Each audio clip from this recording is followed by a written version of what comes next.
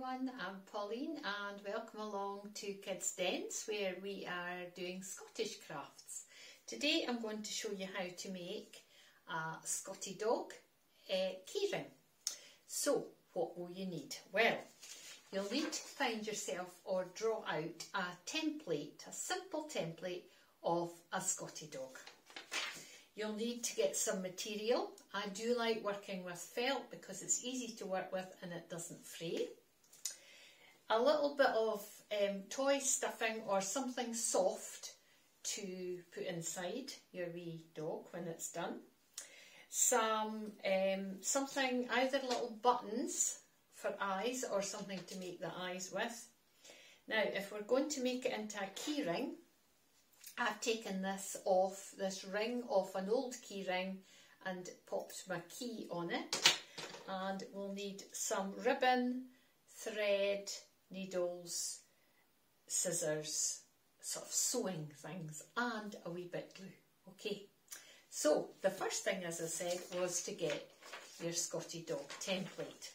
Now you'll need two pieces, so you can either pin it on to your material and draw around it and do that twice and cut them out or you could fold your material and cut it as one but that's a wee bit thicker more difficult to do okay?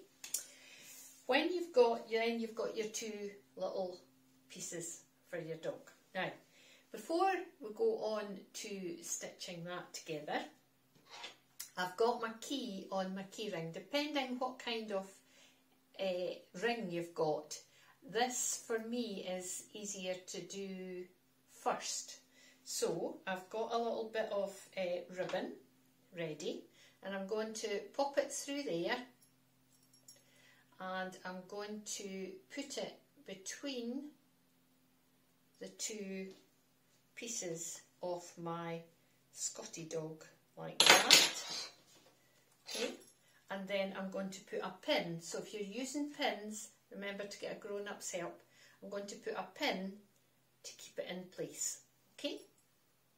Now, all our stitching is going to be the same stitch. It's called a running stitch and I'm going to show you on this piece of scrap felt what to do.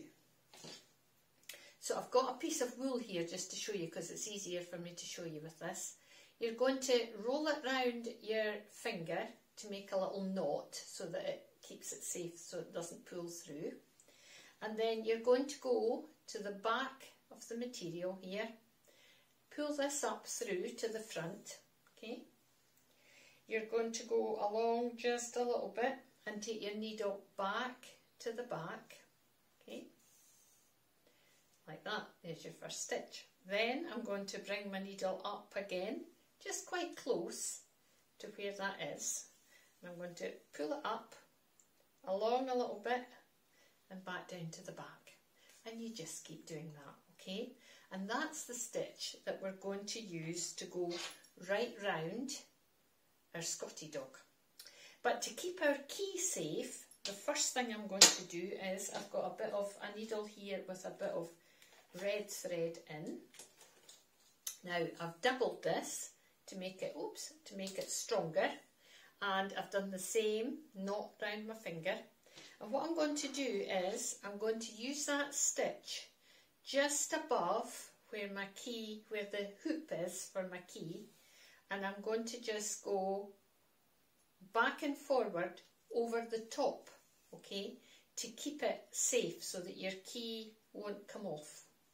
Okay, so I'm just going to make that nice and secure like that, back and forward several times, keep my key safe, okay? When I've finished that, I'll just do a little stitch on the back.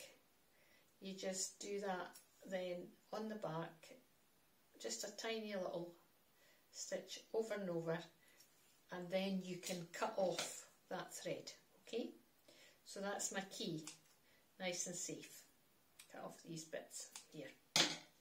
Okay, so now I'm going to take my blue thread and I'm going to start, okay, I'm going to start with that running stitch. So I'm going to start um, just maybe along here, okay? So that I'm getting a straight bit to start with.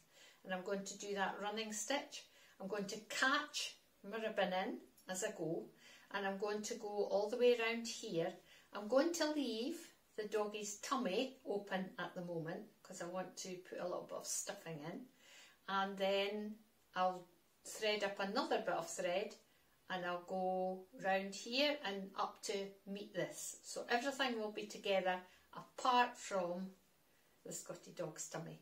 So are you ready to get sewing? And I'm going to stitch mine now and I'll be back to show you when it's done. Now I've sewn round my little dog and left the tummy open.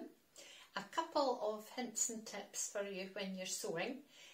When we put the key on, remember I did that stitch and I went over and over the again and again, do that each time your thread runs short just to finish it off because then you can cut off the end, okay?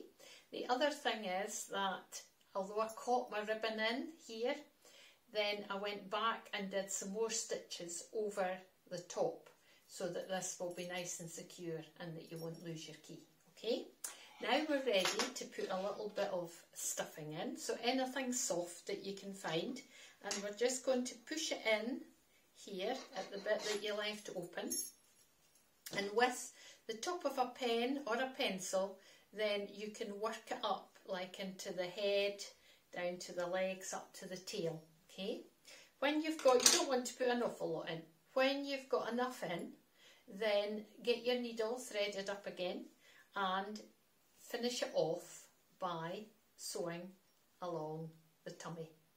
Now, just to finish it off, I have glued two little buttons on for eyes. You could also stitch those on. I used some PVA glue. I think if you have fabric glue it would work even better. And I've cut a little bit of ribbon and tied a bow round my Scottie dog's neck. Now this one is a keyring but you could use this as a bag charm or if you wanted to give it to a grown-up as a gift then don't put the ribbon on and maybe put a little safety pin on and they could wear it as a brooch. All sorts of things you could do with it. Hope you enjoy making it and I'll see you again soon. Bye bye for now. Bye.